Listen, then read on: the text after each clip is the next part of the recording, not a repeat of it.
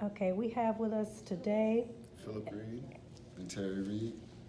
And we're part of Squarerootts, uh, Illinois licensed vendor for marijuana. So, you know, we're just, we're black owned and we're from Evanston and rooted in Evanston.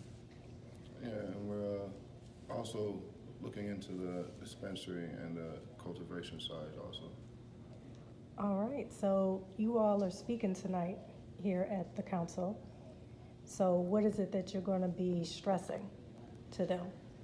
You know, we just want to make sure that, you know, big companies don't come into Evanston and take over and push, you know, the minorities out. All right, how long have you all been doing this? I mean, um, we're, we're, our, our culture has always been doing it. You know, my father and my mother are Rastafarian, so it's very dear to our hearts, you know, on the medical side. And, and so we just, you know, recently got the vending license and, and uh, are actively pursuing the cultivation and the dispensary. Okay, so Rastafarian, so this is spiritual as well as health for Yes, you all? Yes, yes. And at the same time, you know, we've been through a lot in Evanston because of this. So to see them making it legal and people already making money from it when our family was scorned from it, Mm. it's it's it's a it's a highly motivated thing, you know, for us. Wow.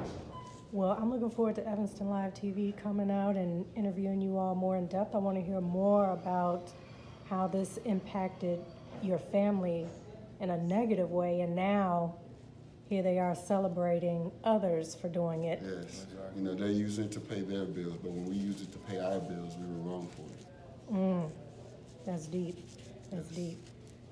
So you all were considered what drug dealers, and they were considered. They're now considered entrepreneurs. Yes, yes. The What- stigma. That's about to change. Yes, and we're gonna be the part of the change.